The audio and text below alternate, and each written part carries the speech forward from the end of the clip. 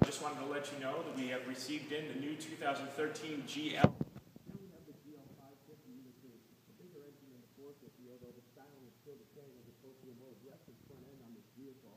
as well as uh, 21-inch wheels on it. You also have this beautiful new headlight design that um, Mercedes-Benz has been implementing in all of their SUVs, um, along with the ML and the GLK.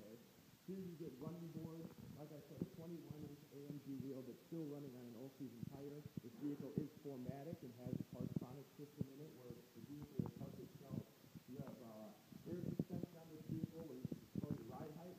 Here in the back, you still use your third row seating. This is the only Mercedes-Benz that does have third row seating in it.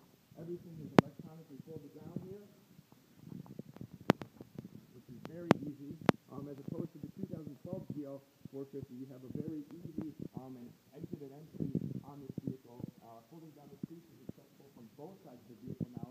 Before it was only um, accessible from the passenger side of the vehicle. Power trunk. A much More aggressive rear end. This vehicle comes equipped with a trailer hitch, dual exhaust, um, and a more aggressive rear bumper as well. As you can see, the rear tail lights have been um, redesigned as well with a new spoiler. Coming on to the auburn brown on black leather interior, which just looks beautiful with the black. um, vehicle. You have rear climate control. Like I said, um, you also have the panoramic roof on top, which is an option now on the GLs as opposed to being a standard feature previously, although it does give you an extra piece of glass in your second row seating. Um, for moving the seats forward, like I said, a very easy function.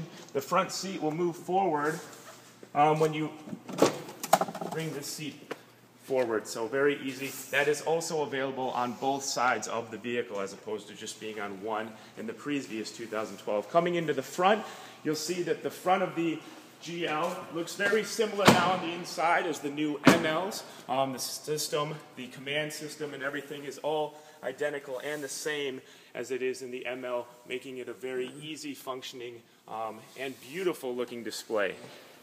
So thanks for listening and watching. I hope you enjoyed taking out, checking out the new GL. This 2013 GL is priced at $95,955, a steal to have the only luxury SUV with third row seating out there. Thanks.